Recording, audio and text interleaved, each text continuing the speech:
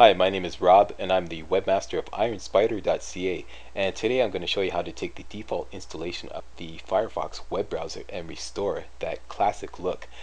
Um, if you're like me, uh, you probably don't appreciate a lot of the changes that have been made over the years to the Firefox user interface. Uh, for example, um, there's no more status bar. Here's the status bar that appears along the bottom of the browser. Um, they took that away, so let's just take that away bye bye. And um, the home button, the home button does not appear on the left side where it should, but now appears on the right side. Uh, there's no history button. There's no reload button. There's no activity indicator. Um, there's also a search bar, which I find redundant. Put that up there. Uh, what else did they do? Um, they put the tabs on top of the location bar instead of below where they should be. And finally, worst of all, they took away the file menu bar. Ouch! So that's what your Firefox browser looks like when you first install it. This ultra minimized Google Chromey um, dysfunctional program, in my humble opinion. And I'm going to show you how to restore the classic look. All right. Alright, let's start out by installing Firefox from scratch. Uh, for this, we're going to have to use the Internet Explorer. Blasphemy! yeah, okay, open up Internet Explorer, go to Google, type in Firefox, go to the Firefox website, and download the latest version. Today is Tuesday, March, or rather Tuesday, August 16th. The latest version uh, available as of this date is Firefox 6. So you click on that, save it to your hard drive, and Bob's your uncle. Alright, now that's going to take a few minutes. Well, let's just assume that you've already saved it to your hard drive, and here we are in the downloads um, uh, directory. Firefox Setup 6. Click on that. Run that to install Firefox. And I'm just going to go with all the default settings. Uh, standard. Use Firefox as my default web browser. And it's installed. And we'll launch it right now give us the option to import some bookmarks and whatnot. I'm going to do that later, so I'm just going to select don't import anything, and Firefox opens up. Alright, let's wrestle this browser back to the way it's supposed to be, starting off with restoring the file menu bar, which typically appears along the top of web browsers, uh, file, edit, view, etc. Let's get that baby back in action.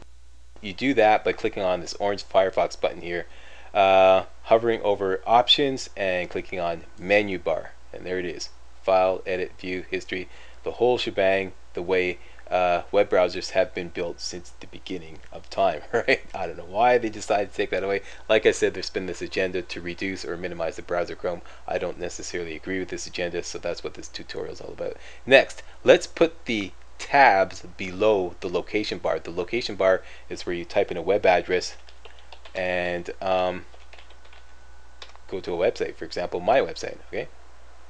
That's the location bar. And typically the tabs appear below the location bar. Let's restore that right now. Uh, you do that by clicking on view once again, toolbars, and click to clear the tabs on top option, alright? So that puts the tabs below the location bar, okay? So now we have all tabs below the location bar, the way they're supposed to be. Okay, Next, um, let's configure, or rather reconfigure the navigation bar. The navigation bar is this area here where you know we have the back and forward button. And um, normally you'd have a whole bunch of other buttons there too including the home button which now appears on the right side instead of on the left side where it's supposed to be. So let's put it back there now. You do that by right clicking anywhere in an empty space next to the tab okay right clicking and clicking on customize and now we can drag and drop anything anywhere. So let's just drag and drop the home button over here to the left side. And while we're at it let's um, drag and drop the reload button over here.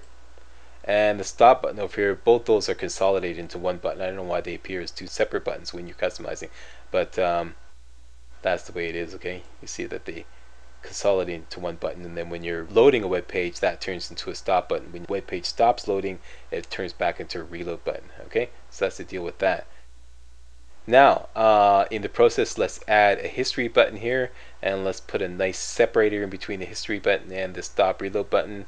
And um, there's also a an activity indicator which tells you that something's happening with your web browser. It's, it's loading a page or something like that. Let's put that there. All right, so now we got a nice little navigation bar happening here below the file menu bar and below that are the tabs. Next, uh, the search bar. Um, called me old fashioned, but I just don't like having a search bar in my web browser. If I want to uh, do a search, all I have to do is just go directly to Google and do a search.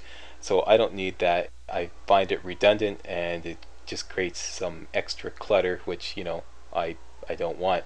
And I know some of you are thinking, hey, Rob, you, you just created a whole bunch of clutter here. Uh, how can you complain about other clutter? Well, all I can say is this is the right kind of clutter and this is the wrong kind of clutter.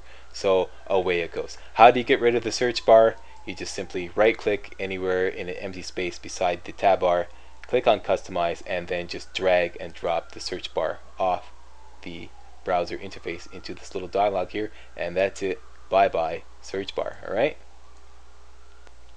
Next status bar. Where's my status bar? Yeah they took that away too. I believe they took that away in Firefox 4 there is no more status bar. Uh, the status bar for those who don't know is a bar that runs across the bottom of your web browser and gave you um, some handy information on what was happening with your web browser. For example, um, let's just use this new history button we created and go back to my website here, um, ironspider.ca.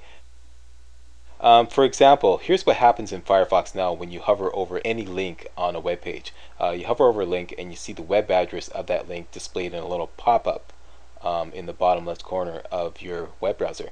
Um, that link or that web address used to appear in the status bar. That was one of the functions of the original status bar. Another function of the original status bar was to show you a little progress bar uh, indicating how much uh, a web page had downloaded. So for example, if you're trying to download a slow loading web page and the progress bar got stuck halfway, uh, you could see immediately that you know there was there was nothing happening and then you could just abort the operation and try to load another web page. So that was another function of the original status bar. Uh, they took that all away. There is no more status bar. What they have now instead is um, what's known as the add-on bar. And you can enable that by clicking on View, Toolbars, Add-on bar and then you have something that looks like the original status bar but it's not. what this is for is to uh, hold uh, icons for some extensions that you install so that you can have uh, quick and easy access to those extensions. That's why they call it the add-on bar. Alright, now if you want to restore the original functionality um, to the status bar slash add-on bar you'll have to install a special extension called Status-4-Evar. So let's just go to Google, type in status number four ever and it's spelled with an A just like that Status-4-Evar. And go to their site.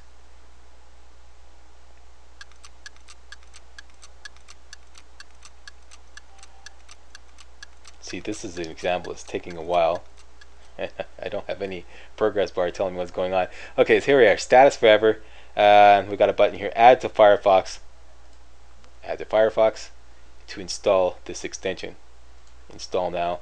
The status bar, or rather the Status-4-Evar extension has been installed. Restart Firefox. And we now have a classic status bar. Let's just try that out. Uh, go back to my homepage there, ironspider.ca and hover over some links and as you can see the address of whatever link we hover over now appears in the status bar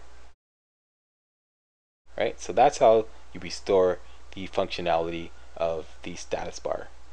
Alright, that's it. That's my tutorial on how to take the default installation of the Firefox web browser and restore that classic look, that classic look that many of us know and love but have been deprived of recently on account of the agenda of browser makers to um, generally discombobulate and minimize the browser Chrome. Alright, um, thank you very much for watching and if you enjoyed this video, please give it a thumbs up and save it to your favorites. Ciao for now, and have a good day.